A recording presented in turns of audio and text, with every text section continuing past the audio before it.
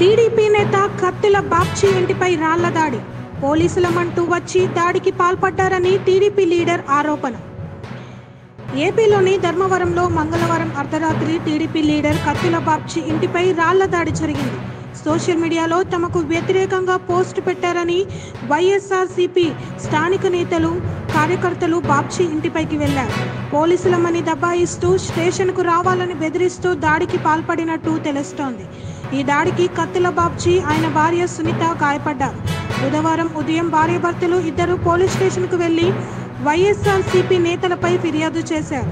బాధితులు వెల్లడించిన వివరాల ప్రకారం మాజీ మంత్రి పరిటాల రవీందర్పై వైఎస్ఆర్సీపీ నేతల సోషల్ మీడియాలో అనుచిత పోస్టులు పెట్టారు. దీనిని ఖండిస్తూ ధర్మవరంలో ప్రశాంత వాతావరణం నెలకొనేందుకు పరిటాల రవీంద్ర కృషి చేశారని బాబ్జీ మరో పోస్టు పెట్టారు. దీనిపై వైసీపీ నేతలు మండిపడ్డారు. మంగళవారం రాత్రి కొంతమంది వైఎస్ఆర్సీపీ నేతలు కార్యకర్తలు బాబ్జీ ఇంటికి వచ్చారు. తాము పోలీసులమని చెబుతూ సోషల్ మీడియాలో బాబ్జీ పెట్టిన పోస్టుపై ప్రశ్నించారు.